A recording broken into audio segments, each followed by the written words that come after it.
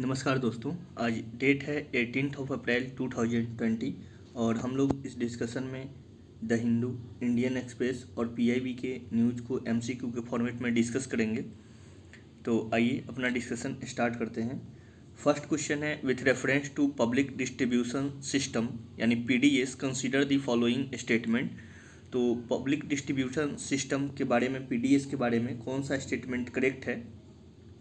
First statement है under it food grains are distributed at affordable price मतलब कि इसके अंतर्गत जो फ़ूड होते हैं, उसको डिस्ट्रीब्यूट किया जाता है एक वहनीय लागत पर, यानी अफोर्डेबल प्राइस पर। इसके बाद में it is a central sector scheme दूसरा स्टेटमेंट है कि ये केंद्र प्रायोजित योजना है। And third is it is establish under the ministry of consumer affair food and public distribution कौन सा स्टेटमेंट करेक्ट है? Your option are A one and two only B two and three only C one and three only and D one two and three right answer is option number C one and three only ये जो है central sector scheme नहीं है, बल्कि central sponsored scheme है, क्योंकि इसके अंतर्गत क्या होता है कि ये ज्वाइंटली रिस्पॉन्सिबिलिटी है सेंटर और स्टेट की, ठीक है? सेंटर क्या करता है? सेंटर के जो काम होते हैं सेंटर की जो ज़िम्मेदारी होती है, वो अनाज की खरीदारी होती है, उसका स्टोरेज करना ट्रांसपोर्टेशन करना और स्टेट को, प्रत्येक स्टेट में उसके बल्क एलोकेशन को प्रोवाइड कराना, ठीक है? जबकि जो स्टेट होती है, उसकी रिस्पॉन्सिबिलिटी होती है आइडेंटिफिकेशन करना आइडेंटिफाई करना, उन फैमिली को जो इसके लिए योग्य हैं।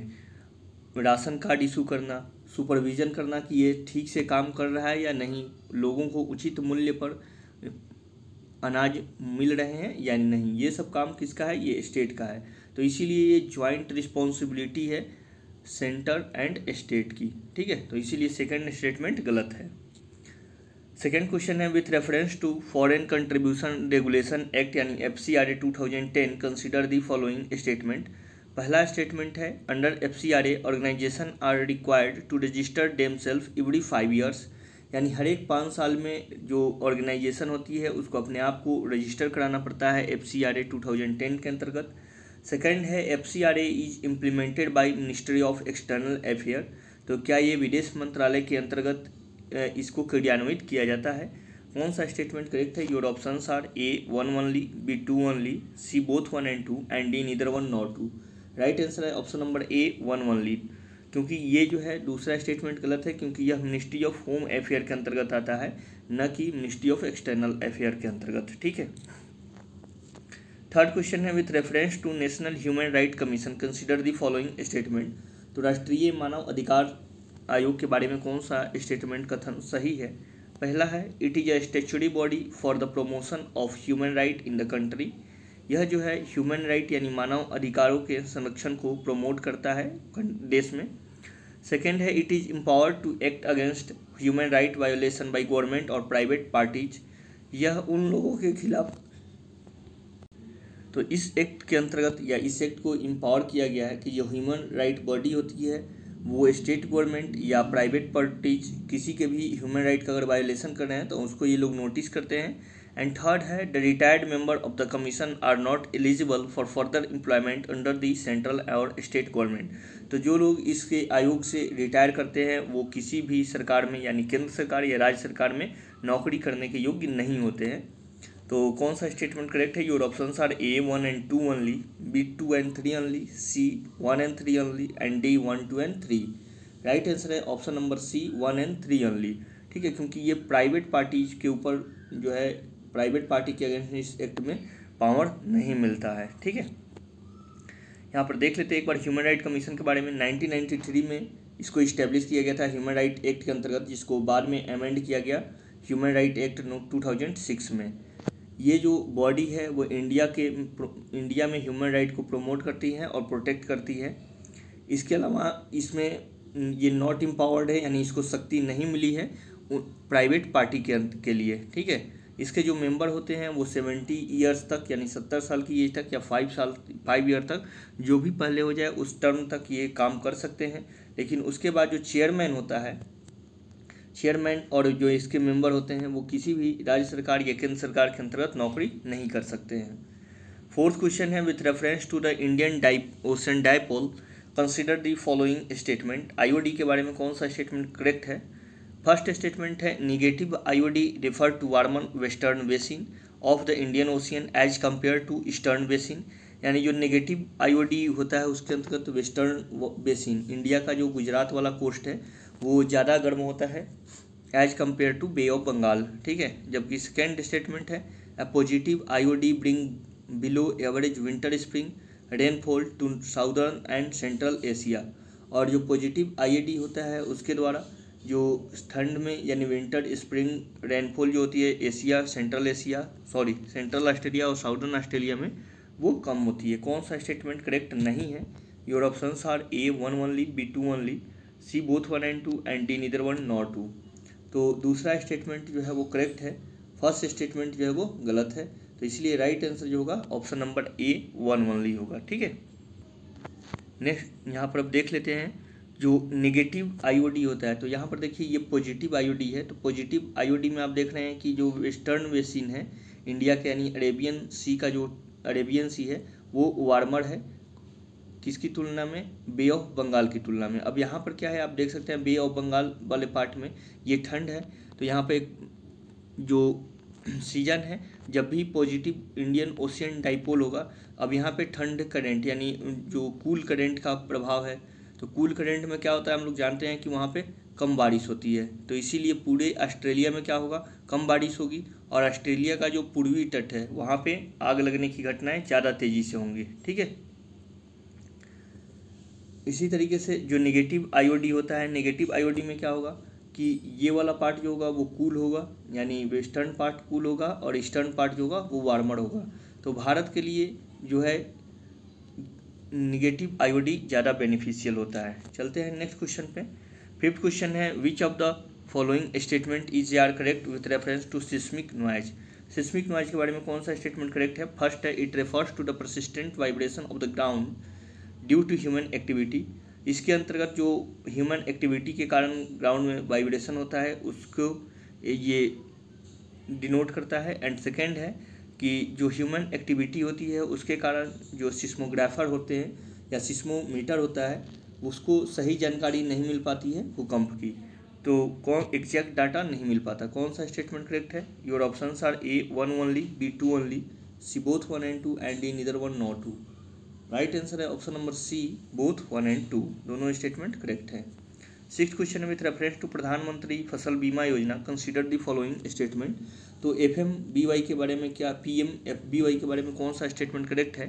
पहला स्टेटमेंट है it is administered by the ministry of agriculture and farmer welfare यह जो है, कृषि कल्याण मंत्रालय के द्वारा इसको लागू किया जाता है. सेकेंड है it is compulsory for loaning farmer availing crop loan K C C account for notified crop यानी ये जो है उन लोगों को लोन प्रोवाइड कराता है केसीसी के अंतर्गत जिनको नोटिफाइड किया गया है। एंड थर्ड है the premium of kharif and rabi crop is 1.5 percent and 2 percent respectively तो कौन सा स्टेटमेंट करेक्ट है? Your option are A one and two only B two and three only C one and three only and D one two and three right answer is option number A one and two only third जो है वो गलत है, क्योंकि रबी को दो percent किया गया है, सॉरी, खरीफ को दो परसेंट और रबी को डेढ़ परसेंट। तो ये ऑप्शन थर्ड स्टेटमेंट इसलिए गलत है। प्रधानमंत्री फ़सल बीमा योजना जो है, वो एडमिनिस्टर्ड किया जाता है रेगुलेट किया जाता है इम्प्लीमेंट किया जाता है ministry of agriculture and farmer welfare के द्वारा। इसके अंतर्गत जो लोनी फार्मर होते हैं, जो के के अंतर्गत जिन्होंने लोन लिया है तो उनको ये स्कीम उनके, उन पर लागू होती है। इसके अंतर्गत जो कमर्शियल हॉर्टिकल्चर है, उसमें फाइव परसेंट का प्रीमियम है। जबकि खरीफ फ़सल पे दो परसेंट और रबी फ़सल पे डेढ़ परसेंट का है। होप यू गॉट क्लियरिटी चलते हैं नेक्स्ट क्वेश्चन पे। With reference to the sovereign gold bond consider the following statement sovereign gold bond के बारे में कौन सा स्टेटमेंट करेक्ट है? पहला है these are issued by the government of India and second is the bond are restricted for sale only to residence individual Hindu undivided family trust universities and charitable institution third is, this can be, this can be bought from small finance bank and payment bank तो कौन सा statement correct है? Your option are one A one and two only B two only C one and three only and D one two and three right answer is option number B two only ये जो loan है, वो, ये bond है, वो किसके लिए जारी किया जाता है? सिर्फ़ इंडिविजुअल्स के लिए, किसी जो जो भारत के इंडिविजुअल्स हैं, हिंदू अनडिवाइडेड फैमिली है ट्रस्ट यूनिवर्सिटी या चैरिटेबल इंस्टीट्यूशन है, उसके लिए है। एक बार देख लेते हैं सॉवरन गोल्ड बॉन्ड के बारे में।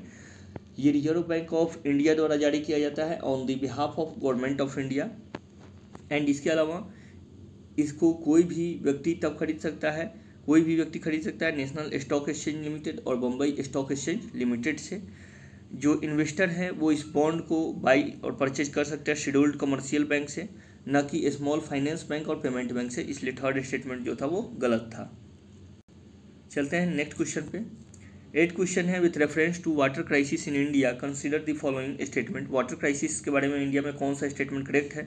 फ़र्स्ट है annual per capita water availability of less than seventeen hundred cubic meter is considered at water stock scarcity condition तो सत्रह सौ क्यूबिक मीटर से अगर कम वाटर हो जाता है पर कैपिटा तो उसको बोलते हैं वाटर स्कारसिटी की कंडीशन एंड सेकेंड है annual per capita water availability below thousand cubic meter is considered as water stressed condition तो वाटर स्टेट कंडीशन में क्या होता है कि प्रत्येक व्यक्ति के लिए हज़ार क्यूबिक मीटर से कम पानी उपलब्ध होता है। एनुअली कौन सा स्टेटमेंट करेक्ट है? Your option are A one only B two only C both one and two and D neither one not two right answer is option number D one neither one not two क्योंकि ये opposite है। जब थाउ, यहाँ पर क्या होगा? Thousand cubic metre से जब कम पानी होता है तो इसको बोलते हैं स्ट्रेस्ड कंडीशन और जब थाउज़ेंड और जब सेवनटीन हंड्रेड क्यूबिक मीटर से कम ये होता है, तब इसको बोलते हैं वाटर स्कारसिटी कंडीशन तो इसको याद रखिएगा कि जब सेवनटीन हंड्रेड से कम हो जाएगा वाटर तो उसको बोलेंगे स्ट्रेस्ड कंडीशन और थाउज़ेंड क्यूबिक से कम होगा तो उसको बोलेंगे water scarcity condition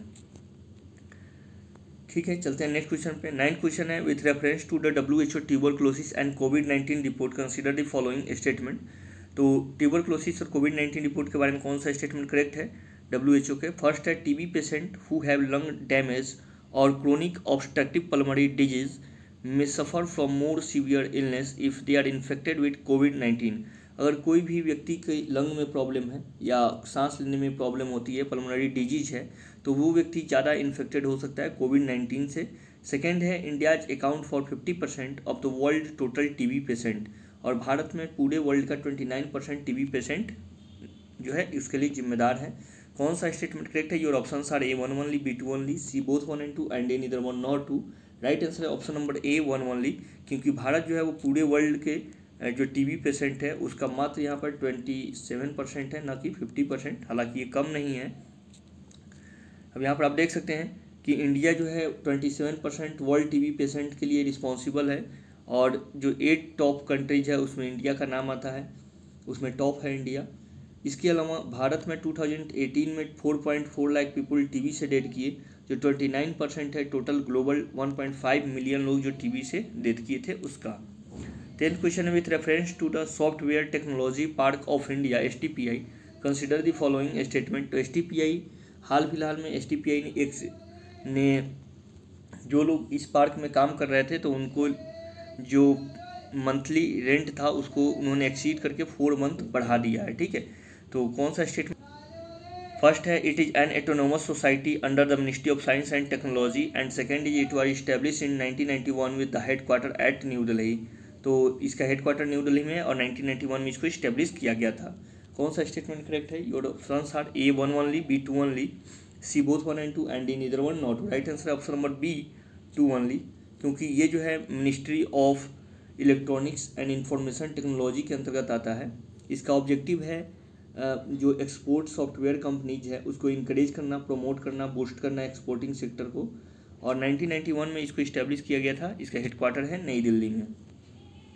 eleven question है with reference to the world health organization consider the following statement W के बारे में कौन सा स्टेटमेंट करेक्ट है? तो ये इसलिए चर्चा में है क्योंकि डोनाल्ड ट्रंप या जो अमेरिका के राष्ट्रपति है, उन्होंने कहा है कि ये ठीक से काम नहीं कर रही है ये संस्था। चाइना का पक्षपात करता है, इसलिए वो सीज कर देंगे अपनी जो, ये थर्टी परसेंट तेरह परसेंट के आसपास जो अमेरिका का कंट्रीब्यूशन है इसकी फंडिंग में तो उसने बंद करने की बात कही इसलिए चर्चा में है। फ़र्स्ट है it is a specialize agency of the United Nation responsible for international public health and second है it is a headquarter its headquarter in New York तो इसका हेडक्वार्टर जो है, वो न्यूयॉर्क में है। कौन सा स्टेटमेंट करेक्ट है? Your option are A one only B two only C both one and two and D neither one not two right answer option number A क्योंकि इसका हेडक्वार्टर जो है, वो हेग स्विट्जरलैंड में है। ठीक है? ना कि न्यूयॉर्क में है। ट्वेल्व क्वेश्चन है a new species of green pit viper Trimeresurus salazar was recently found in तो हाल फ़िलहाल में एक वाइपर मिला है, यानी सांप की एक प्रजाति है तो ये कहाँ से मिला है? Your option are A Tripura B Arunachal C Mizoram and D Sikkim. Right answer is option number B Arunachal Pradesh. ठीक है? ये आप यहाँ पर देख सकते हैं, ये जो green viper green pit viper है तो ये मिला है अरुणाचल प्रदेश से। चलते हैं नेक्स्ट क्वेश्चन पे with reference to the union government national directive for COVID nineteen management consider the following statement तो कोविड नाइन्टीन के लिए सरकार ने कुछ दिशा निर्देश जारी किए हैं तो कौन सा स्टेटमेंट करेक्ट है? फ़र्स्ट है wearing of face cover is in work place and public place are compulsory second है no organization and manager of public space shall allow gathering of five or more persons तो कोई भी संस्था या organisation जो है, वो एक जगह पर पाँच से ज़्यादा लोगों को रहने की अनुमति नहीं देता है।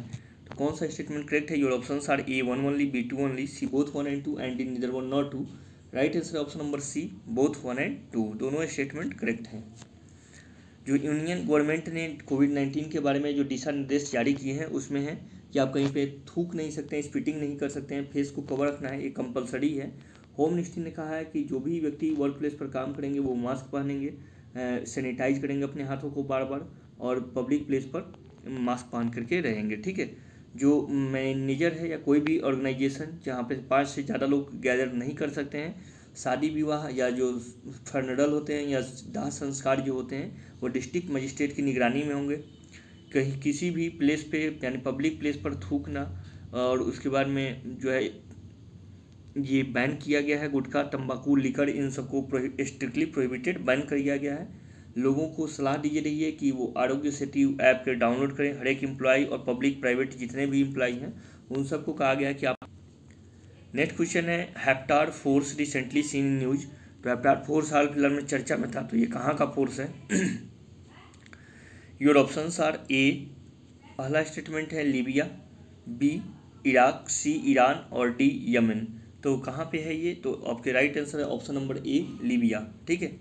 लीबिया का एक बार लोकेशन हम लोग देख लेते हैं, ये अफ्रीकन कंटिनेंट में है। यहाँ पे आप देख सकते हैं, ये रहा, यहाँ है लीबिया। ये Egypt, Tunisia, Algeria, Niger Chad और सूडान से इसका बॉर्डर लगता है। और यहाँ पर आप देख सकते हैं, ये सीरिया है। सीरिया का बॉर्डर इराक से लगता है। ईरान से लग, इराक से लगता है ईरान से नहीं लगता है, सऊदी अरेबिया से लगता है, ठीक है? चलते हैं नेक्स्ट क्वेश्चन पे। With reference to Indo US missile deal consider the following statement Indo US missile deal के बारे में कौन सा स्टेटमेंट करेक्ट है? फ़र्स्ट है the US state department has recently approve two potential missile deal with India for an estimated ninety two million dollar and sixty three million dollar तो US depart state department ने में अभी दो potence missile को India के लिए deal किया है, जिसकी कीमत है ninety two million dollar and sixty three million dollar second है A G M eighty four L Harpoon block two air launched missile can be fitted on to Boeing P eight one maritime patrol airport कौन सा statement correct है? Your option are A one only B two only C both one and two and in either one not two right answer is option number C both one and two दोनों statement correct हैं. Sixteen question है with which of the following organisation has recently launch of global journalism emergency relief fund किन संस्था ने journalism के लिए एक emergency relief fund को इस्टेब्लिश किया है? Your option are A Google B Microsoft C Facebook and D Twitter right answer is option number A Google ठीक है? तो I hope you got clarity regarding all this article and this all this video is beneficial for you. Please like comment share and subscribe the channel. Thanks for watching and thanks for discussion. Bye. Have a nice day. Thank you